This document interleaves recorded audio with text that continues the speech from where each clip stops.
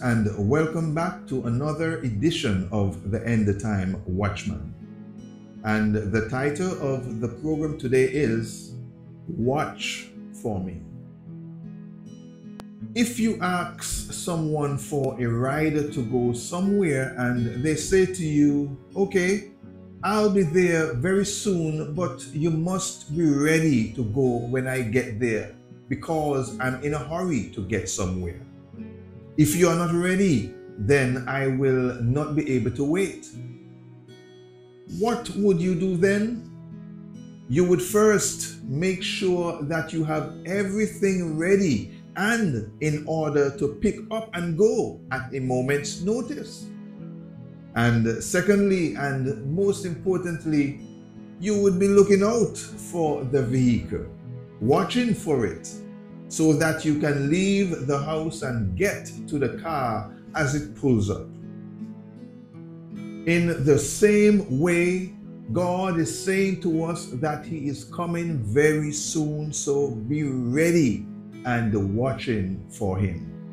Matthew chapter 24, verse 42 says, So you too must keep watch, for you don't know what day your Lord is coming.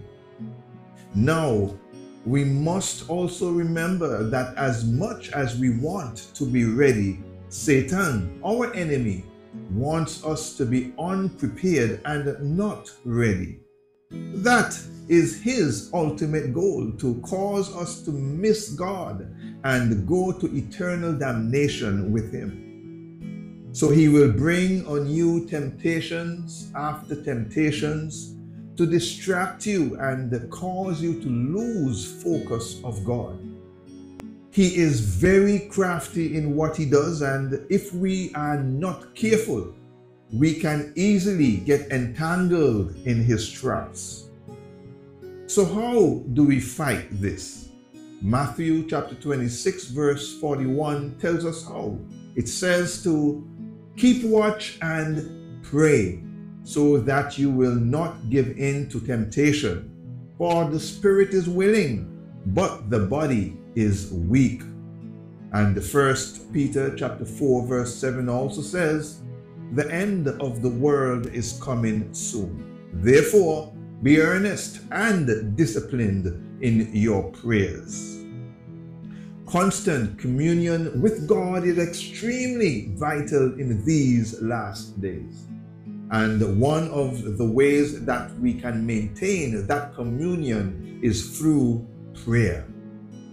So, not only are we to be watching, but we are also to be constant in prayers. Watching for our soon coming Savior also involves praying, but not limited to. First Thessalonians chapter 5 verse 6 also gives us a serious warning. It says, So be on your guard, not asleep like the others. Stay alert and be clear headed. This is talking about spiritual sleeping. The days for spiritual slumber are long gone. Knowing what's at stake, no one that's already awake can afford to fall asleep spiritually at this time. Because of the urgency of the hour that we are in now, just one little nap can cost you everything. It can cause you to miss the soon coming rapture of the church, and worse, to lose out on eternal life with God should the enemy get to take you out while in that nap. So God is sternly advising us today to stay awake, to stay alert, and to keep watching and praying. And finally, be urgent about finishing the work that God has uh, given us to do. John chapter 9 verse 4 says, We must quickly carry out the task assigned us by the one who sent us.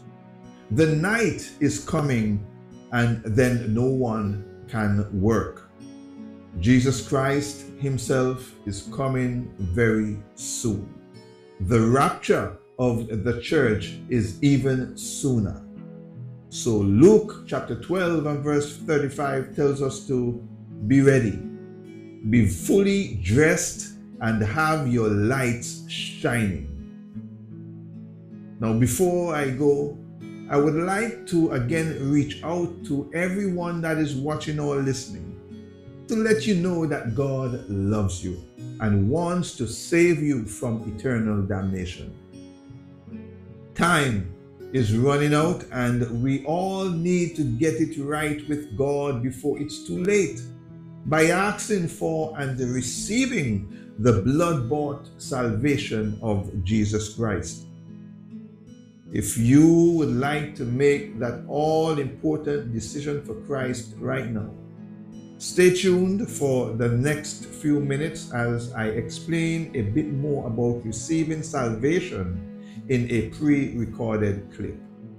At the end of this clip, you will be given the opportunity to say a short prayer of repentance with me, one that will lead you to receiving your salvation through Jesus Christ.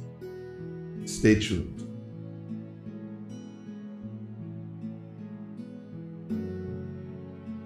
Before I go, I would like to share with you the good news. The good news that you can be saved today from eternal destruction and given eternal life through Jesus Christ.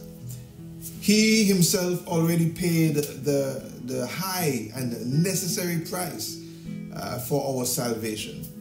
So all we need to do is to ask him for it and accept it as a free gift. Why do I need salvation, you may ask?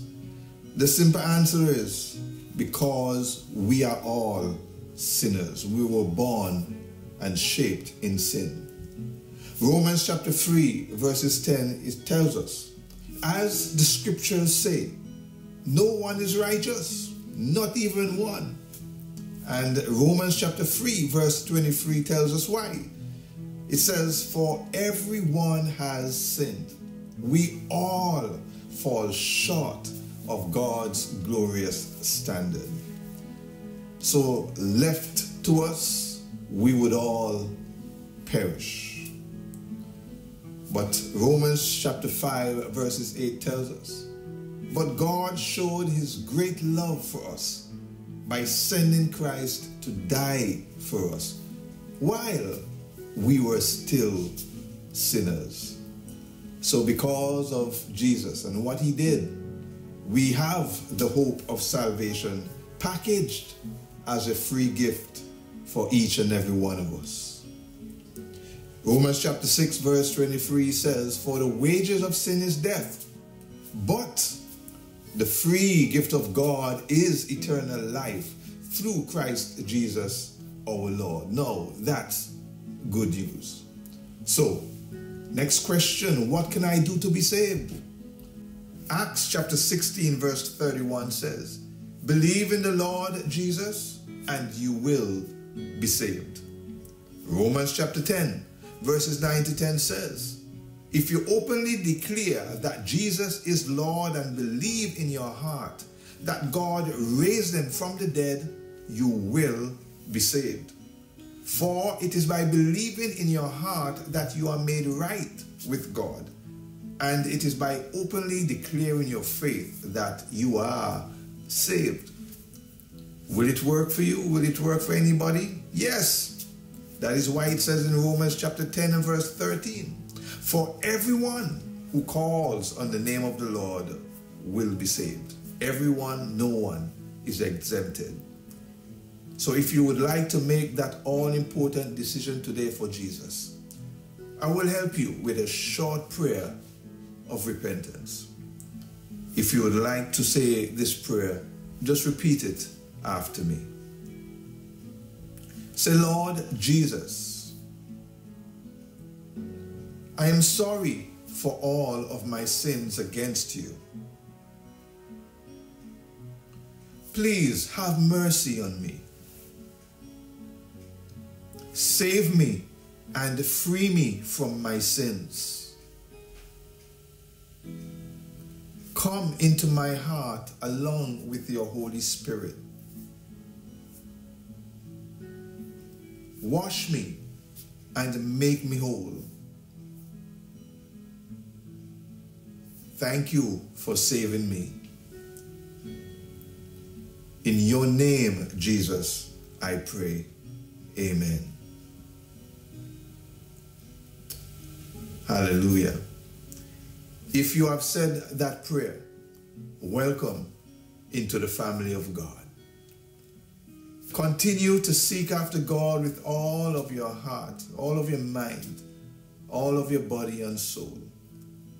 And please feel free to, to share this video with your friends, uh, uh, with your family. Uh, share it as far and wide as you possibly can. There are no uh, restriction, absolutely no restrictions on how uh, you can share any of our videos. All we ask is that you help us to reach the lost at all cost. So thank you for watching and thank you for listening. And I'll see you next time, if there is a next time. God richly bless you and goodbye. Hey, hey, song the trumpet now. Hear the father say, Rapture is coming. Don't get left behind. Don't get left behind. Oh, the rapture is coming. Don't get left behind. Don't get left behind.